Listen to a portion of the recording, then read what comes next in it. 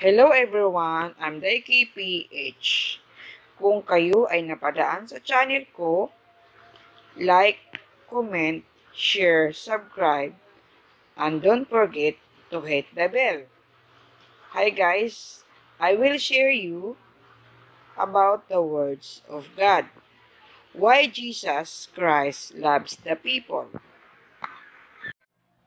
Simbahan, maniwala kay Kristo. Kung si Heso Kristo ang ating kasagutan sa ating buhay, pupunta tayo sa simbahan palagi. Bakit? Si Heso Kristo ba ang ating kasagutan sa ating buhay? Lahat ng tao gusto nilang masaya, pero hindi sila masaya. Bakit? Dahil nakakaranas ang tao ng mahirap at problema kahit hindi nila gusto. Kapalaran. Ang tawag ng tao dito kapalaran. Bakit? Dahil hawak tayo ni Satan? Dahil sa kasalanan. Genesis chapter 3 verse 1 to 6. Naiwalay ang tao sa Diyos. Romans 3.23 Lahat ng tao ay naging makasalanan. 1 John 3.8 Nagtayo ay naging makasalanan. Naging pagmay-ari tayo ni Satan. Lahat ng tao, original, kasalanan, sin. Dahilan kung bakit namumuhay ang tao sa kanilang kapalaran. Galing kay Satan.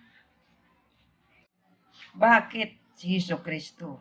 Dapat ba tayong maniwala kay Heso Kristo? Tao, hindi mananalo kay Satan dahil ang tao ay may pisikal na katauhan. Samantalang si Satanas ay may espiritual na katauhan.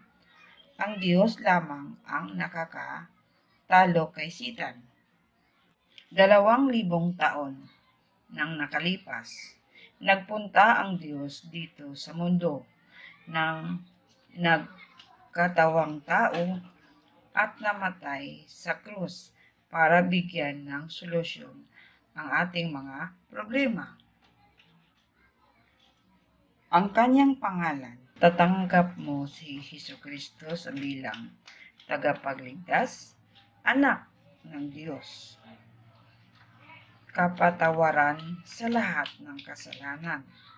May kalayaan mula kay Satanas. Jesus, gusto mo bang maniwala sa ating Panginoong Heso Kristo? Kung tinanggap mo na si Heso Kristo sa ating puso, so makinig tayo sa ating prayer. Ama, naming Diyos, maraming salamat po sa pagkakataon na binigay mo ngayon. Ngayon po, ipan ipahayag kung ako ay isang makasalanan. Pero naniniwala po ako si Kristo ay namatay sa krus para sa aking Panginoon. Ngayon po ay naniniwala ako at tinatanggap kita at ipinahayag bilang aking tagapagligtas, Panginoon, Hari at Pinuno. Panginoon, pakiusap po, pumasok ka sa aking at gawin mo akong anak ng Diyos. Maraming salamat po na natanggap mo ako bilang iyong anak. Ito po ang aking dalangin sa pangalan ni Jesus. Amen. Mga biyaya ng anak ng Diyos. Sa ngayon, meron na akong biyaya na natanggap natin si Iso Kristo sa puso natin. So, number one, estado. Pagtahan ng banal na spirit. chapter 1, Corinthians 3.16. So, dapat tanggalin natin, tanggapin natin ang banal na spirit sa puso natin. Pangalawa, paggabay ng banal na spirit. John 14, 26-27. So, dapat, pag tinatanggap natin si Yesu Kristo sa ating puso, gagabayan na tayo, tayo ng ating banal na spirit. Pangatlo, kasagutan sa panalangin. John 16:24.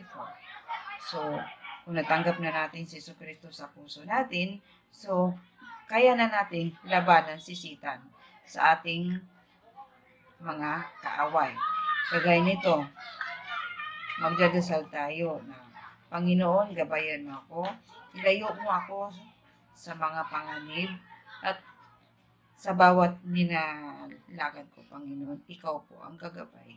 So, matatalo natin si Satan sa pangalan ni Kristo kung magdadasal tayo.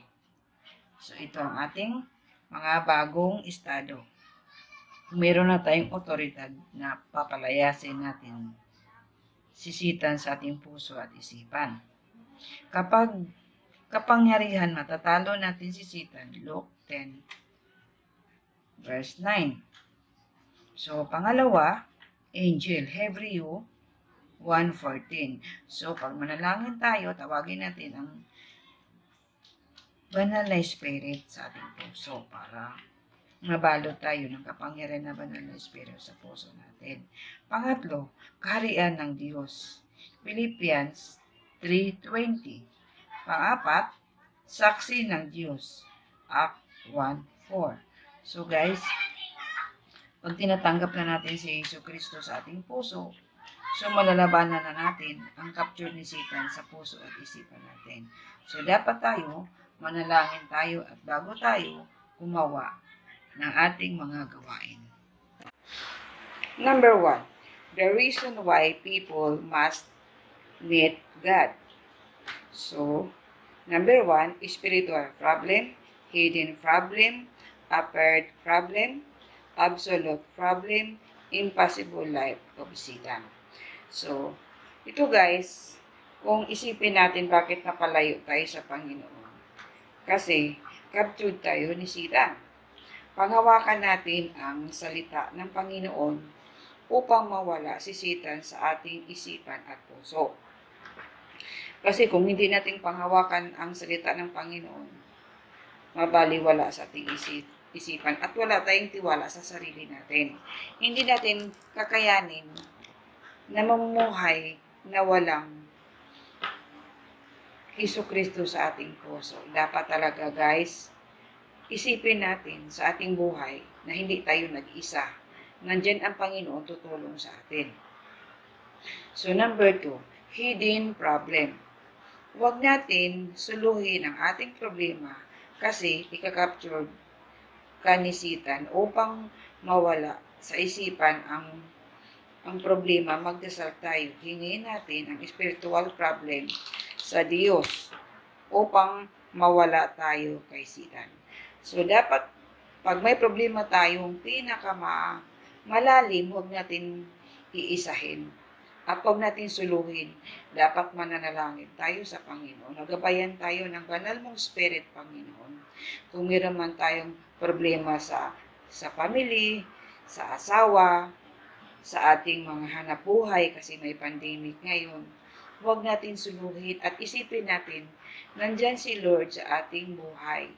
At Pangatlo, hindi ka nag-iisa sa ating kapaligiran. Nandyan, nandyan si Lord at gagabay sa atin. So, dapat maniniwala tayo kasi kung hindi natin isipin na wala si Jesus sa puso natin, makakapture tayo ni Satan, guys. So, dapat isipin natin, nandyan si, nandyan si Jesus sa puso natin. Kasi, kung mananalangin tayo na ng mas malalim at may good Holy Spirit na ikaguide sa ating puso, gagaban, gagabayan tayo.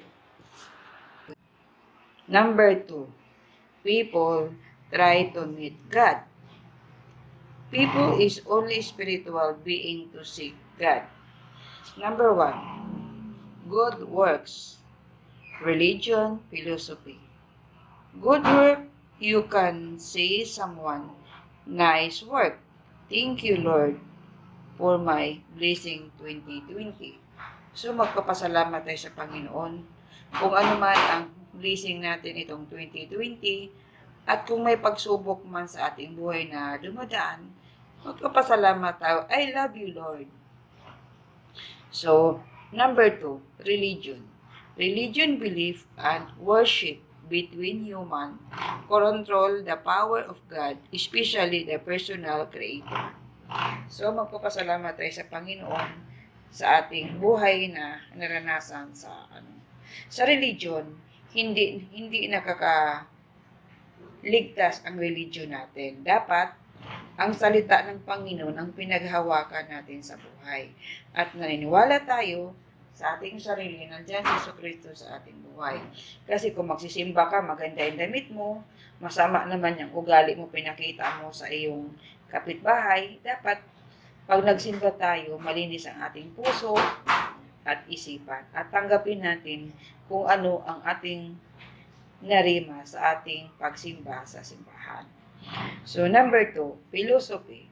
The study of fundamental natures of knowledge, reality, and existence, especially when the considered as in academics discipline. Kahit matalino man tayo, kung wala tayong pananampalataya sa Panginoon, mawawala din yan. Kasi pag kinakaptured ang isipan natin at puso, kung ano ang sasabihin ni Satan na you get the person, patayin mo. So, kasi sasabihin ni Satan, ikaw, mananalo ka pag pinatay mo yan. So, hindi pala talaga tama yan, guys. Dapat marunong tayo magpakumbaba sa ating sarili. Huwag tayo magpa-captured kay Sipan, kay Satan. So, dapat ito ang ating reality show up sa ating buhay. Thank you guys. I hope na marami kayong natutunan sa aking mga payo about biblical. Thank you for watching guys. Don't forget like, comment, and subscribe. Bye-bye.